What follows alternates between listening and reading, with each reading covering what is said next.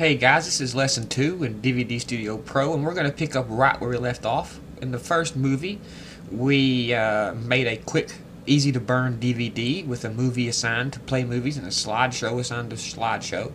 For this video, I want you to go to configurations and go to advanced and you'll see what I see, okay? So now here we are at the very end. I just set up a new project. It's not the same project from the last video, but it's just you go through that first video and you'll end up here, okay? You open your advanced view you'll see we have a movie assigned to the play movies button just like we did in the first one.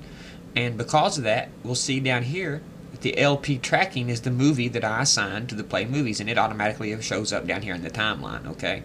So if you go to the viewer you can see your movie and you can start everything just like a little timeline. So let's, let's, let's set a few chapter markers. If you notice there's an introduction, so I want to go to the end of the introduction and set my first chapter marker. And to do this, you hit the M key or just click up here in this little area. So I'll hit the M key and you can see it set a chapter 2. I'm set another, another random chapter here, right here. We'll hit an M key or click up here and it sets chapter 3 marker.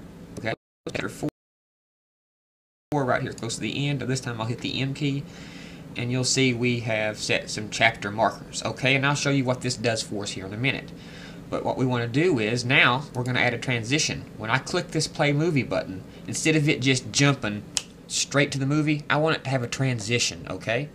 So I'm going to select the movie, okay? I want you to select the movie and down here in the buttons menu, you'll see a style Advanced Colors and Transition. Go to Transitions tab. Now there'll be this little drop down menu and you can pick what transition you want out of all these transitions. I'm just going to pick Melt. Okay, that sets our melt transition. Now, I'm going to simulate this disc and show you what we've done. Simulate. Now we have our menu here. Okay, now if I click play movie, you'll see that the transition between this and the movie kind of melts away. See there? That's. Let's set this to uh, HD. Okay, so now we're playing our movie. Our transition is in there. Nice.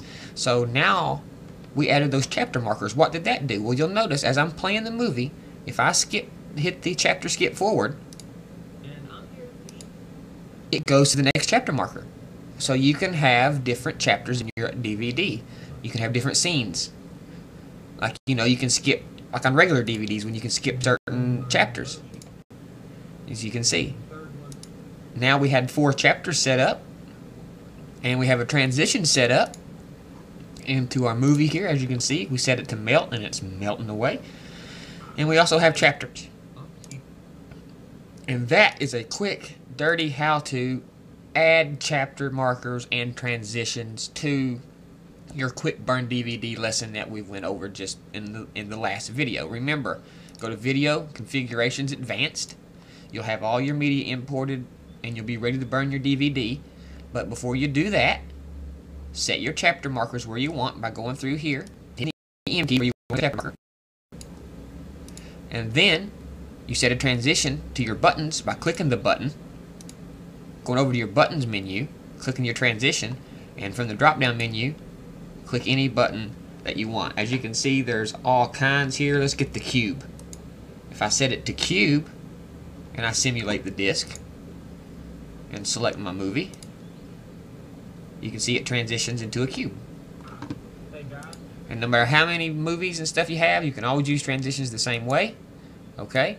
So this was just another added little trick you can do to spruce up your DVD. We're going to get into more advanced things, you know, more advanced menus, bigger menus, more complex menus. And this is just a way to add transitions to your buttons and to set chapter markers so people can skip through your DVDs. Thanks for watching, and I hope you watch the next one coming. Thanks, guys.